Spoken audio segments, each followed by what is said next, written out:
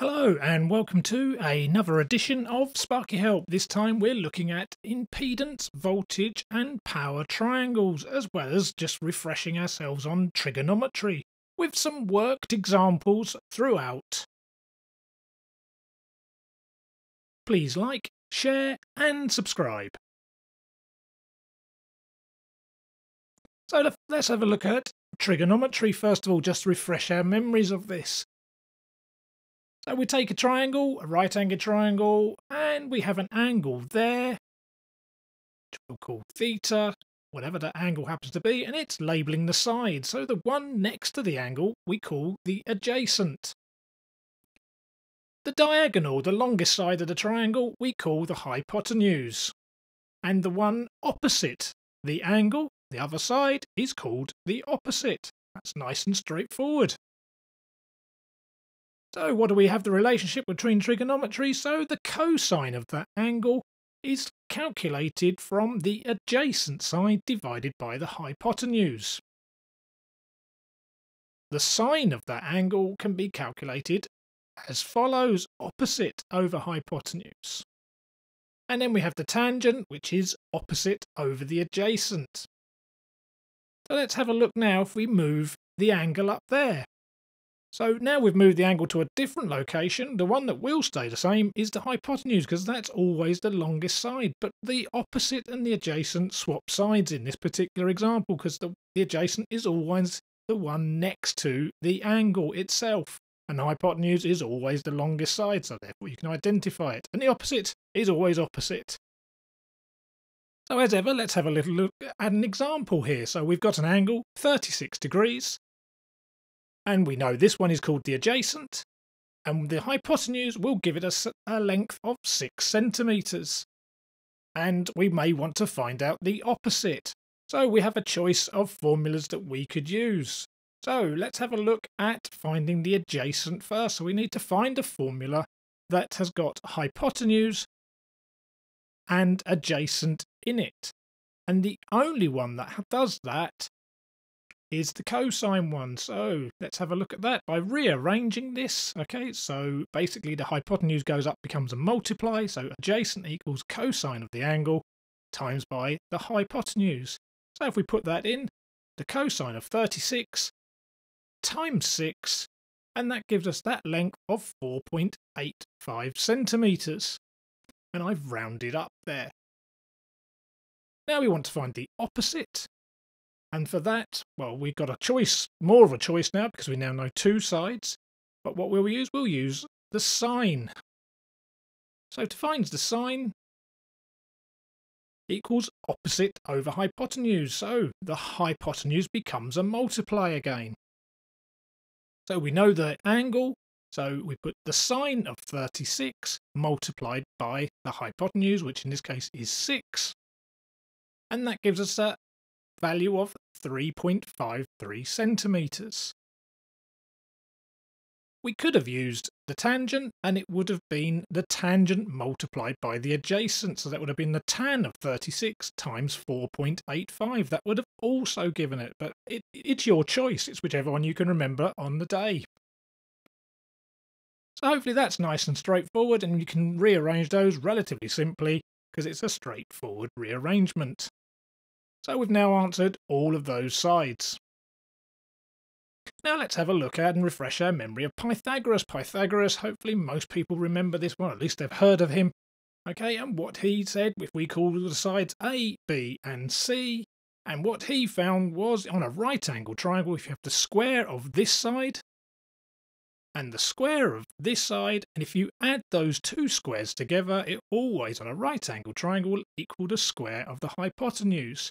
That as a formula, I'm sure you've probably all seen before, that becomes c squared equals a squared plus b squared. But it's not often we want the square of another side, we want the size or the length of that side. So the way to do that, to get rid of a square, the opposite to a square is a square root. So we have to square root the opposite sides. And now hopefully this is a more familiar formula that you may well have seen. So the c, to find that, is the square root of a squared plus b squared. Now let's get on to the focus of what we're looking at. impedance triangles, voltage triangles, and power triangles. So again, we're going to start with a right, right angled triangle, which is, you can see why we started off just refreshing our memory of this. So it's always a right angled triangle. And for an impedance triangle, R is always the horizontal because resistance is in phase. Z is the combination of everything, so it's the sum of the other two sides, so that's always the hypotenuse. And then this side is the reactive side, so this is either XL or XC or a combination, but this is the X. Now if we multiply each of these sides by a current, we will get another triangle. And if we multiply I times R, we get volts. So this is a voltage triangle. So if we multiply each of those sides, I times R gives you the voltage across a resistor, so it gives you VR. If we do I times Z, Z is the total, so I times the total gives us VS. And if we multiply I by X, we get Vx, so the voltage across the reactive part of a circuit. And now what we've got to do is do another triangle. So we're going to multiply each side by i again. And we'll get an identical triangle. So another right angle triangle. So here's the common theme here. And if we do i times r, well, r is the bit that does all the work. That's the bit that uses power. So this is a power triangle. And what you will get at that point there along the horizontal in phase is watts. And if we do I times Vs, if the circuit has a power factor, then you'll get Va, which is apparent power.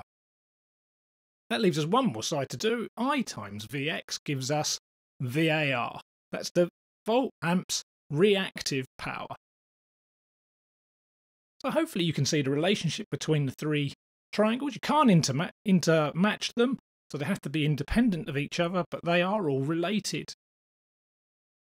Let's go back and look at this then. So we've got an angle here. What does that relate to? It's the power factor, and power factor is the cosine of an angle. And we have the same angle on this one. This is also going to be the power factor, and it's the cosine of the angle. And guess what? You guessed it. The last one also power factor, that is the cosine of the angle. How do we work those out? We'll go back to the first one again. It's adjacent over hypotenuse because it's a cosine. So in this case, as people tend to remember it, it's r over z. This would be my go-to. This is the one I tend to remember most of the time.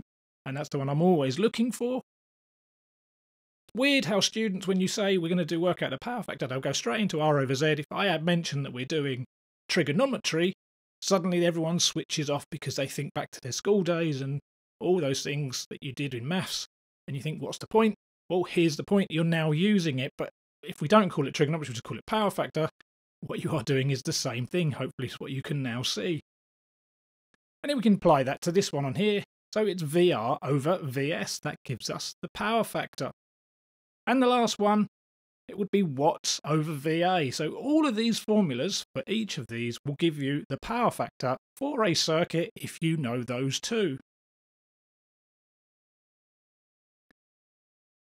If we look then, we can apply Pythagoras to all of these, and there we've got z is equal to the square root of r squared plus x squared.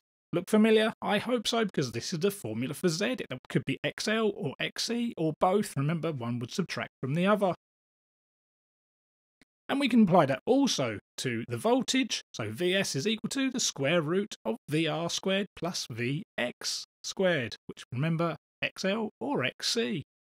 And therefore, you've guessed it again, the power one can be calculated as such. So hopefully you can see the relationship and usefulness of remembering these three power triangles. But let's put them into practice again. What can we actually apply them to?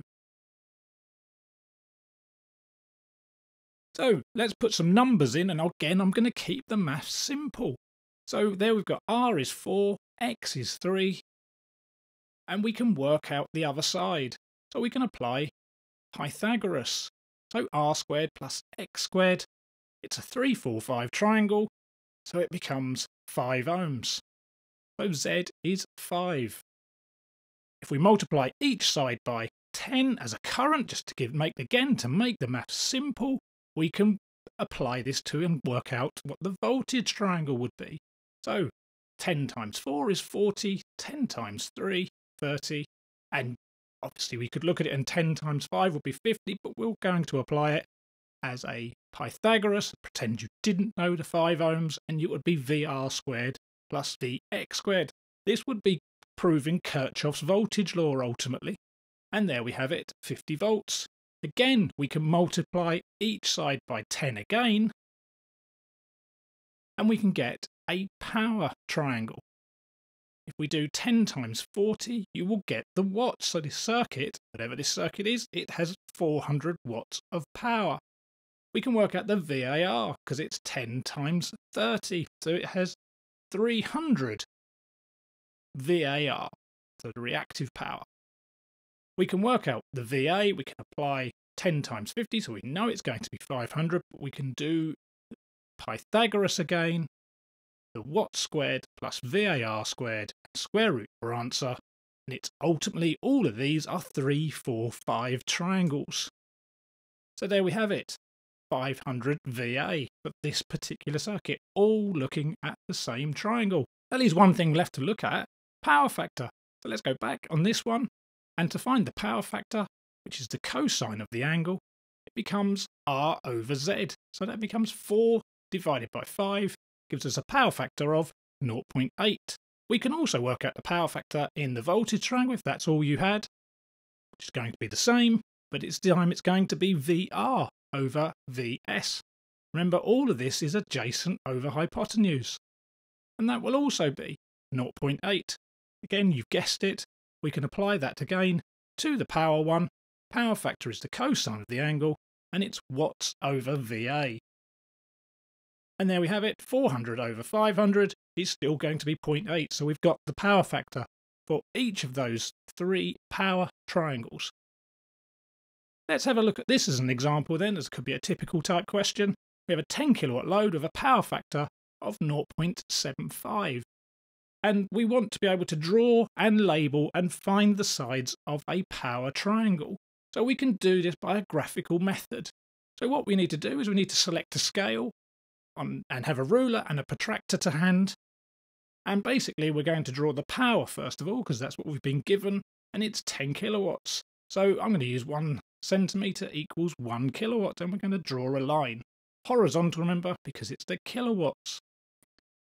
What I then need to do is find the angle. To find the angle, we do the cosine to the minus 1 of the particular power factor that we have. So cos to the minus 1 of 0.75 gives us an angle of 41.4 degrees. And we can put our protractor on, and we can basically, what we need to do is construct a right angle triangle through the 41.14 degrees, as accurate as you possibly can. So the bigger you make this, the more accurate it will be. If you make it really tiny, you're not going to be that accurate. So remember, it's a right angle triangle, so that's what we're going to construct. So we just draw some lines through the 41 degrees, right angle on the right hand side there, and then obviously where the two points meet, that will then construct your triangle. So we can now measure those sizes if we've drawn it to scale. So we get a ruler out, put it on the edge there, and measure it up there. And we get 13.3. So we've got our measurement, that, remember, is 1 centimetre equals 1k, so that's 13.3 kVA. And we can now measure the vertical part. Remember, this is the VAR. And there we've got it. So it's 8 up to that point. And it's approximately 8.8 kVAR. Like I say, the more accurate you can draw it, the more accurate you will actually be. But you'll be there or thereabouts. Is this really spot on? Well, we'll have a look in a moment. So therefore, we have now constructed the power triangle based on this information. And I hope you can see it's quite straightforward.